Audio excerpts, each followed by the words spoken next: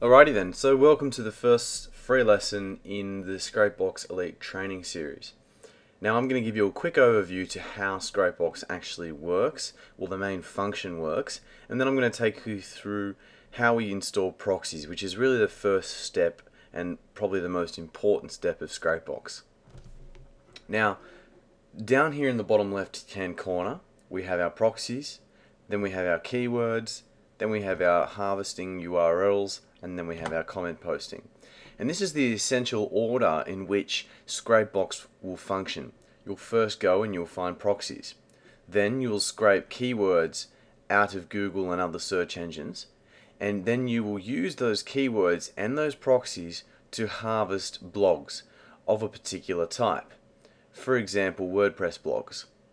You can then filter those blogs through a list of options on the right hand side. For example, you could filter with PageRank, or you could remove, remove duplicate URLs, which is highly recommended, or you could check whether URLs are indexed. And lastly, you come down to your poster. You've got different versions of your poster and different text files with which you need to add in. Now we'll go through all these step by step. So today's lesson is to just to get proxies. Now proxies are very important because you need proxies to hide your IP address from Google. Essentially it keeps you anonymous and it helps you operate Scrapebox without getting banned or the website that you're posting getting banned from search engines. So there are two types of proxies you can essentially use. Paid for private proxies and free proxies. Now, when starting with Scrapebox, it's a good idea to just use free proxies for a while until you get your head around things before you consider um, paid proxies. And sometimes paid proxies might not be feasible for some people with just one small website that they're trying to rank. However, for individuals with a few websites that are profitable, then having paid for proxies is definitely the way to go. So Scrapebox has a function here where we have manage proxies and we can actually find proxies that Scrapebox will basically find for us from a number of sources. We can load proxies in and we can save lists of proxies and then once we have our proxies we can delete. So the first way is probably to go and manage proxies. We can hit click harvest proxies and then select our sources. It's probably a good idea to use all sources.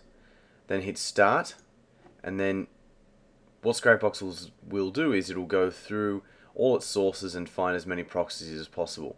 Now it's quick, completed quite quickly and has found a few thousand proxies. Now what we need to do, which is the next and most important step, is to filter out all the dead proxies. So click OK, and we have a whole list of proxies here. We need to hit test proxies, and what this will do is it'll show our good proxies down the bottom here, and our bad proxies over here. After we have completed this, we will hit save and transfer the good proxies to the main list. We don't want to be working out of bad proxies, and that's why we will, um, we will use Scrapebox to get rid of them. However, this is what Scrapebox gives, and I find that I, I'm, I'm at best will get 100 proxies out of their sources, um, and usually we'll only get about 40 to 50. So it's not the most valuable source. Ideally, when using free proxies, you'd like to have over 100. Now, in our resource section on the website, we've actually put in a list of three sources that we personally use when we're using free proxies that can give, I mean, on average, uh, between 100 and 400 proxies that are successful on any given day. And these websites are updated every single day.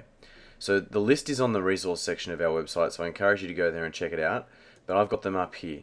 These are the three websites. So if you want to um, copy these websites down, pause the video and then copy the websites down as I go through the links. So I'll just go through one of these as an example. Ideally what you'll do is you will open up a list of proxies here that I have saved next to Scrapebox outside and you will paste in this um, the list here that they update every single day. So you can see the date he's updated to the 23rd of November. So what we'll do is we'll go through this list of proxies and we'll save the entire list. This is actually quite a big list today. So I'll stop it there and let's just say I save the whole list. I'll go into my proxies list and I'll add in a list of proxies for today then I'll save that list. I would do this for each of those websites. So I would go into the 23rd here and the 23rd and the 23rd. There's 68 proxies here, 12 proxies in here, and 249 in there. there's 693 in here, 1,229 in there, and 700. Oh, that was from yesterday, but that's probably still worthwhile checking out because they're one day old. So we'll go to our list here. We will load proxies from a source. We'll go to our desktop. We will find a our proxies. Where are we? We've got our proxy list here. And then we want to go back and we want to test our proxies. So after we hit test, Scrapebox will go through these lists and it'll start saying, okay, what's good and what's not good. Now I'm using yesterday's lists, only with what I showed you was the only addition I made to the list. So I should probably come out with about 100, but you never know, I could come out with less than 50. So it really depends on um, how many of yesterday's proxies have been forced dead since then. So ideally, um, you'll update the entire list every single day, and it only takes about a minute, and I highly recommend it. So I'll just pause this video while the rest of the uh, testing occurs and then we'll go from there at the end. Okay, so we're back here. Scrapebox is finished. We've found 151 good proxies and 169 bad proxies. So ideally what we can do is now we can transfer the good proxies to the main list and we have a list of working proxies. Now, what I did in the break was while that was scanning was I went and went back to the website and I put in the all the new proxies uh, that those websites had updated. So I actually copied them into that text file. So what I might do is I might load those proxies again and run it again and see how many um, good free proxies we can come up with here. So I want to test yes for the unresponsive proxies and then I'll start from the top and I'll hit test. Now I've got 1,671 proxies in this list, so it should take some time to go through. But when done, I should end up with, I'm hoping, at least two, potentially even at least 300 good proxies. And remember, these are free proxies, so they're not the best of quality, but 300 of these is quite a valuable resource to have.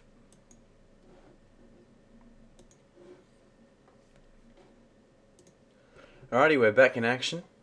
Um, so as you can see down the bottom here, I've got 341 proxies that have actually passed, so that did surpass my expectations.